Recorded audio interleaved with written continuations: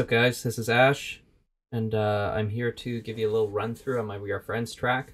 Sort of a tutorial in a sense. Not really, though, mind you. Uh, you'll probably notice I have a bunch of tracks frozen. That's because my computer is kind of a hunk of junk uh, and running OBS and Logic Pro. I tried to record this tutorial earlier and uh, it was just crashing constantly. So I found a workaround, and uh, hopefully that doesn't make things worse or anything. Also, a stipulation. This is my uh, my work file. The way I kind of write songs is I start with uh, a, a, work file. Basically, I write the song start to finish. Uh, usually, I try to get it done in about a day, and that's not like a bragging thing or anything. That's just a time constraint sort of thing. I'm always, you know, going to work and you know having a social life and all that stuff. Mind you, I don't have much of a social life. Um, I kind of have to bang things out pretty quickly just to keep up with the schedule. Uh, so this song was actually one of those songs. Luckily enough, um, I just got back from a really great little group we get together, a mastermind group, uh, talking about productions in the city. Um, and they were asking me stuff like, uh, um, wh- where do I want to play my music? Where, where does it want to go? Um, because I was kind of producing more chiller stuff. So I went home and I was like, well, I got to start writing stuff that's a little you know, louder, bigger, you know, more exciting. Um, so I had the idea of like crossing influences from like Porter Robinson or Jon Hopkins or any of these people. Uh, and I decided to write this song called Human. So with that, it kind of has that, that like really slamming kick. And that's how I started it. Uh, actually, funnily enough, this is a Rinzen kick um, learned something from the deadmau5 masterclass uh, that a kick's a kick. So that's from Rinzen. That's from the uh, splice pack that mau5trap did a little while ago. Mind you, I got a little top kick riding along on top of it as well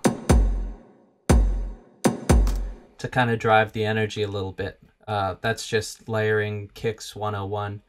Um, as you can see, I also put everything out as uh, audio files. I've always just been a drag and drop, and I know that actually would attribute to my project being quite slow.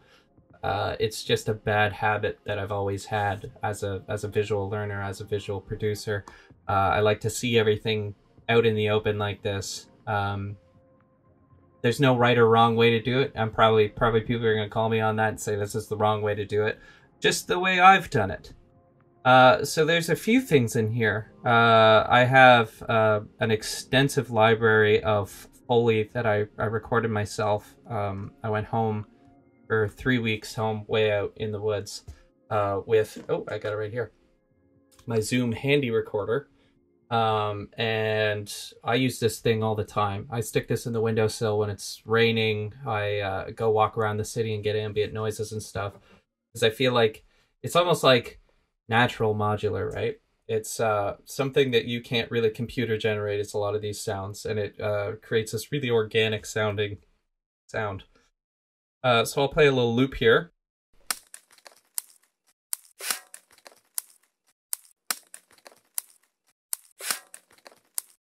So a lot of the times the percussion in my songs is just sticks and like that sliding sound is in a garage i'm pretty sure just sliding some metal. Um, these are all sticks. I remember where i was uh, recording these i was just snapping them by a campfire with my zoom handy. You can hear the birds in the background it's in the afternoon. Uh, that's something i always like to put into my tracks because it, it's kind of part of my brand as the nature technology thing um, and it really, I think it kind of plays along to my sound really well, having things like that in it. Uh, another example of that, I always use rain effects, and everybody, if you've listened to my music, you know that's in every every friggin' song. Um, so in the breakdowns, I like to fill it with a choir. Uh, actually, that that's one of the sounds in here is uh, a choir of uh, frogs from my hometown in a swamp. I went out in a swamp middle of the night Ordered a bunch of frogs. Reminds me of home. And you can kind of layer all these sounds to, to make a, an atmosphere, right?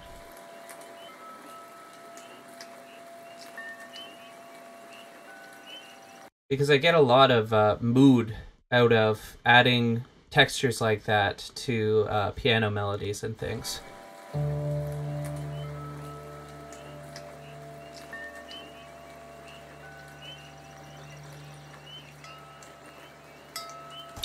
That was a bad example because no piano is playing, so I'm going to try that again.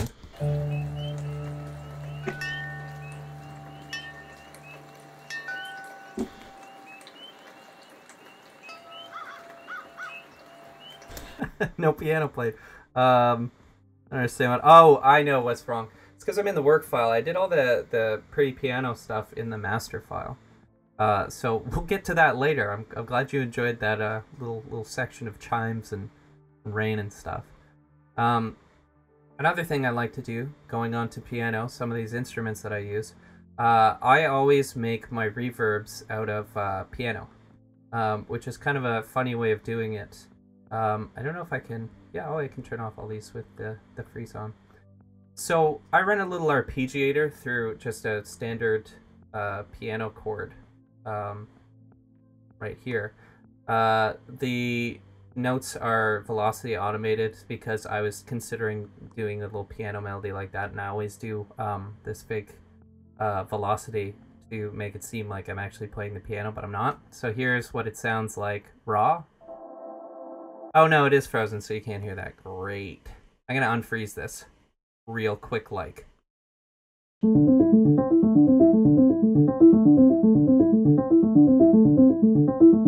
Doesn't sound like much, but if you do turn on all of these instruments, uh, well, mostly, uh, sorry, instruments, effects, uh, I usually throw two Valhallas on, and I use the stock uh, channel EQ to cut it to around 1000 hertz. And you can get a really nice, warm sounding pad and, and verb in the background.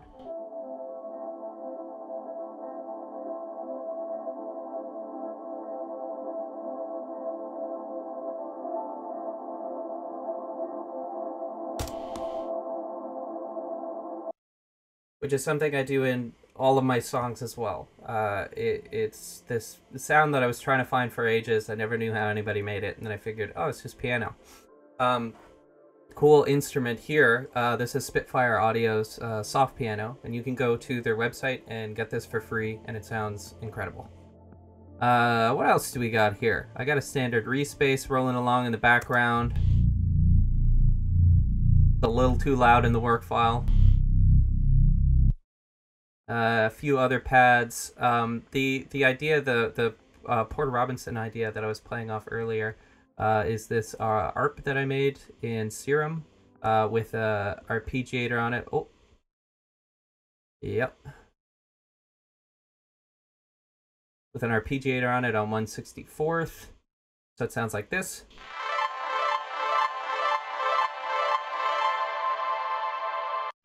And without it, it sounds like this.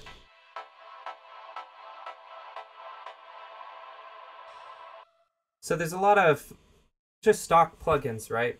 I guess uh, uh, the point of me doing this is to kind of say you don't really need any any expensive gear to make really cool sounding music. Like uh, obviously I have a few programs in here that are worth a little bit of money, like Ozone 9, which I just updated to recently, uh, even Logic Pro on its own. But a lot of these instruments are free.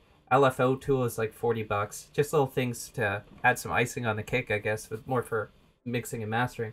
If you just want to write music, you don't really need much beyond the, the basics. Uh, Serum is rent to own, um, which I use Serum a ton. Uh, but like you get one or two instruments like that, and you should be good to go. I mean, even my computer is years old now, and I know uh, producers that would shock you on the label who are using computers that are like 10 years old and barely run and it's wild. Not saying it wouldn't be great to have a top of the line brand new computer. It's just you can still get away with making music on on lesser gear. Um, I think probably people would want to hear how I made the lead pluck. Uh, and that one is a similar situation. It was kind of a fluke. So you have the same chords that you have the, the piano pad in, sound like this. Really shitty on the ears, uh, really aggressive sounding. Uh, so I was playing around with arpeggiators again, just the standard arpeggiator. I ran the 164th like it did on the Wild Arp there. But it sounded a little weird, uh, so I layered an arpeggiator and put on a, a 1 8 triplet, and that's how I got my, my lead arp for the song. Happy little accidents, as Bob Ross would say. Uh, then we got uh, the, the the vocal um, screaming sound is just a splice sample. Um, I'm going to mute all that out. I'm using a trackpad right now. I don't have a mouse. My mouse is broken. So the uh, that sound is just a, a splice sample. Because I don't have huge access to you know a plethora of singers or you know a studio to record this stuff in. Mind you, I do know some pretty fantastic singers like uh, Leonie Gray. She's uh, the singer that was on Melancholia. Um, but I just haven't built up a library of enough stuff yet to um, be able to use those in any song. So essentially, what I did to to get it to sound big like that is it is layered uh, quite a few times. Uh, I added uh, clip distortion, just stock plugin, a little uh, stereo imaging. I'm saying um and ah a lot. Here's a Canadian joke. I sound like Justin Trudeau. um, in a Bit Crusher and my favorite plugin, uh, Valhalla Room with uh, long decay. Um, so with that, a little there's a little reverse section, and then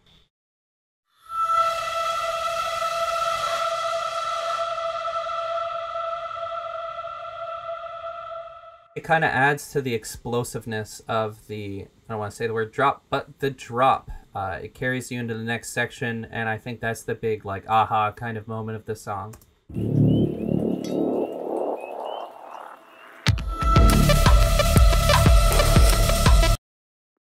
Oh, and here it is. I turned off the freezing, so now the the project is crashing a little bit, which is pretty standard in my life um, which is a good segue into what I do next when I'm working on songs. Is uh, I made this look all pretty for the tutorial, so I labeled it. Well, not as pretty as some. I at least labeled all the tracks because usually I don't do anything like that. I find it slows me down, and when you're writing a song, you kind of want to ride that momentum of, uh, you know, you're you're vibing with it, you're you're rolling with it, you're having a great time. You don't want to um, lose that kind of edge, that that inspiration. Uh, so I never label anything until the end. Um, so like let's say five hours into a writing session, I've got like the basis down or whatever. I'll uh, export all these out uh, into WAV files and bring them back into another project, which is where we're going to now. There's going to be a hard cut because I'm going to switch this. And I'm back. Uh, sorry for the delay. I guess for you it was instantaneous. Um, so what I'll do after the fact is I bring everything into um, Logic Pro again into a new project file, um, and I'll throw all the audio files in in their little groups, and that's when I get down to uh, the actual EQing. Mind you, I've done a lot of the EQing in the previous track, um, and I recently got FabFilter, but as you can see, I hardly used it in this project file, which is unfortunate because I feel like I could have made this song sound a little better but, you know, time constraints, stuff like that. It's the industry, nothing you can do about it. I think it turned out well enough. Um, you know, in in like six months I'm gonna hate it anyways. Like most most songs people write they end up not liking. Not saying I don't like it now. Uh, so FabFilter I'm just kind of using to cut out all the crummy offending frequencies. Um, I have it on the master channel. So I'll actually roll through uh, and notch out all the uh, offending frequencies that, that are really too sharp or obnoxious or whatever, because um, it cleans up a lot of space in the track. And when you're playing a track out live, you don't want to blow somebody's eardrums out, because most of the uh, us industry people have hardly any hearing left, anyways, from similar situations like that. I throw uh, this is for mastering. I like to put uh, the the little uh, side EQ to cut out all the bass frequencies on the side. This is a new technique that I learned that uh, I know everybody else knows. Um, or you cut out a little under. I usually do around 200 hertz, and that's usually just where the kick in the bass is. uh, you can cut out all the low frequencies of the stereo field, which opens up so much more room for uh, turning up the volume. I have a cat scratching at my door trying to get in right now if you hear any funny sounds on the side. Um, everything else is just kind of standard. I got a brick wall at the end for anything you wouldn't hear anyways. Um, I like to take those out because that's just sonic noise that's taking up space in the mix. It's all about mixing and mastering. It's all about getting your volumes right. So having all your volumes kind of around uh, like flat zero. Uh, and actually, what, what I'm doing right now by bringing all these in is uh, doing flat fader mixing. I, I know, like, look at uh, this one. This one isn't because um, there is some automation on the track now, but it's bringing everything to zero and then using uh, using gain automation to gain automation. Uh, I just use a stock gain to bring it down, get it to level, so it sounds a little better. Um, I put a little expander on here, crisp up, and then I have uh, three adaptive limiters stacked. I usually push it right to the edge. Um, just uh, just like a little incremental at a time so you can get it back up to the sound and that that squashes the volume i don't know if people know this but this is my process anyways i'm sure a lot of people know this and a lot of people are yawning and shaking their heads but this is the ASHE tutorial after all uh, and then i recently just updated from uh, ozone 6 to ozone 9 which has uh, brought up my loudness by about a decibel, which is interesting that I could kind of pull that from just getting this. I don't do a lot to the mix. I actually brought down some of the bass on this one because the bass is overwhelming, and this is a recent thing I've done because uh, I, I do notice that the, the bass is a little loud and human. Um, it's because I played it out recently, and I was like, oh, that's that's a bit loud, and so I turned it down a little bit on this master to show you guys. Um, you, you put a maximizer on. I usually bring the threshold way down. And then you have a relatively loud track. Uh, I I just use Peak and R- RMS. Uh, I forget what the other one everybody's using is.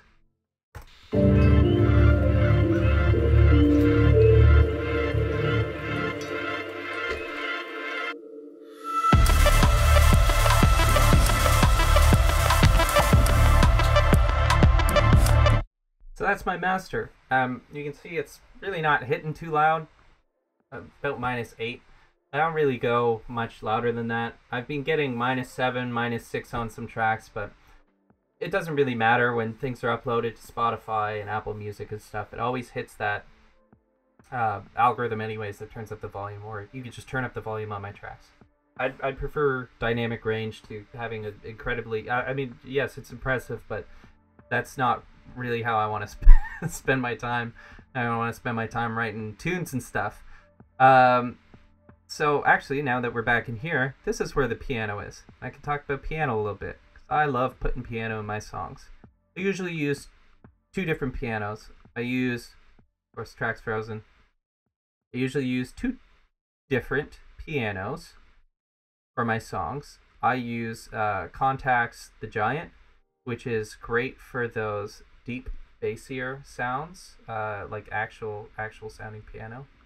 I'll bring up the piano roll. It's not a very exciting piano roll. Just kind of trails down.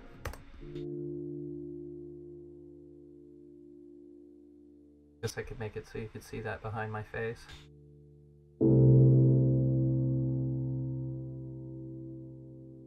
Don't mind me. I'm just checking my phone. Uh, and then I like to do all the pretty twinkly piano on top with uh, that the Lab Spitfire, um, which is such an incredible sounding piano. Makes you want to cry.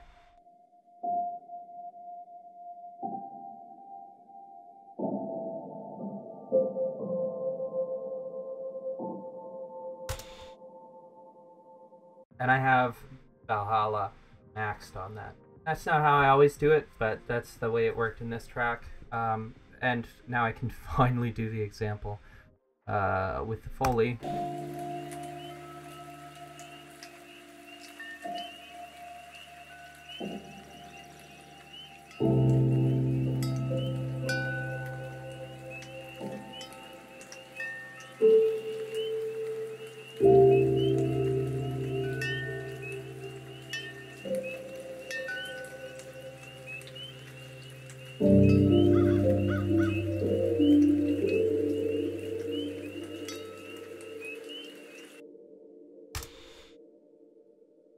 I love melancholy.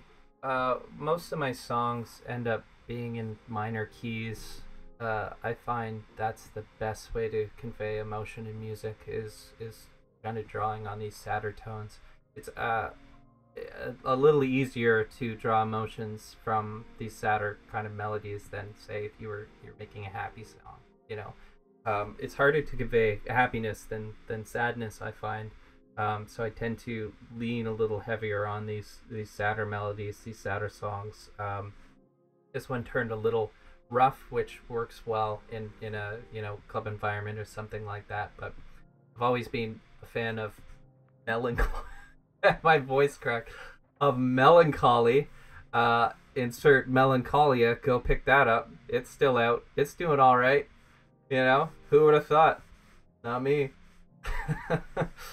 but uh, yeah, that's uh, that's kind of uh, my writing style. That's my sound. Is this like uh, you know, nature, uh, technology blended together, um, with a touch of touch of sadness. Just uh, something I draw on for for writing music. I think you should write from your heart. I know that's cheesy and lame, um, but you should be writing music that you want to listen to. You shouldn't be writing music that you want a label to sign or uh, that that you're trying to match somebody's sound. You should be you should be writing music that you want to listen to. Maybe that's the music you want to listen to. So I guess uh, final final notes on things. Um, just keep writing music all the time. Never stop. Because there's guys out there like Sistemas who, in the time I did this tutorial, have written like 20 friggin' songs. Like, amazing, talented young musicians who are are just going through the the numbers. Like I uh, grew up in a place didn't really have internet, so I didn't have tutorials or anything like this. So you have such a beautiful opportunity to get started early. Because I was writing music, um, like 2005 or something. I started, and I grew up in the country. We still don't have internet there um, and all of my stuff is was trial of trial and error until about 2011 when I uh, moved out to Vancouver and I had high speed internet, so I could start to learn. A few bad decisions later, it's 2016. I started taking this really seriously every day, sitting in my room, letting myself go, letting my body fall apart, growing my hair out crazy, trying to trying to make this a reality because I know um, you go in and you see these people like you, you like I watched uh, REZZ and Atlas during the bus tour and I uh, front and center and they were playing their show and I thought to myself why the heck can't I do this? I, like I should be able to be up there right? On the on the top of the world like it's feasible. If, if anybody you, you know if you want to be an astronaut people are astronauts that means you can be an astronaut so there's there's people signed on to mau5trap. There's people touring the world making music. You should be able to do that given enough time. You put in the time and the effort. You should be able to do that. Uh, that's my motivational speak of the week right there. Um, but yeah, that's that's kind of my process how I write things. I usually just do, you know, I got an idea in my head and I start laying down the tracks like a train barreling down, um, and then before you know it, start to finish. You, you get really fast at it once you start doing it every day. Like there's like four or five hundred songs over the, the course of my career that I've uh, that I've written that'll never see the day of light. But every bad song you write is a bad song that you don't have to write ever again. So just keep writing music. I didn't really expect this to, to become something of a, a, a motivational talk. It's supposed to be a tutorial, but uh, I'm not as technical as as most producers who are, you know, you're probably going to get some tutorials of guys who are just, just like beyond me in technical knowledge, you know. I never went to school for it. I mostly learned from tutorials. There's still stuff that I'm learning today that are obvious to other people. Uh, people come into my house and they see my projects and they are shocked that that I I can make things sound pretty good for for my lack of knowledge. So anyone can do it you know just if if it's what you want to do just do it so uh go go out and stream my track human uh out on we are friends I don't know if it's out yet, but uh, out on We Are Friends, December thirteenth, uh, right after right after deadmau5. The alphabet saved my life again on that one. Uh, streaming a bunch, buy it, buy the rest of them. I got a lot of friends who are on this compilation, which is awesome. Uh, and I'm gonna leave with uh, I'm just gonna play the song, and then I'm gonna awkwardly walk away and stop recording.